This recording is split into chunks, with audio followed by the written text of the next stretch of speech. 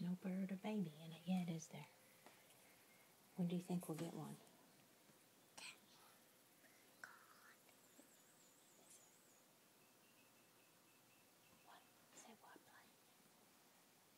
Get my book on.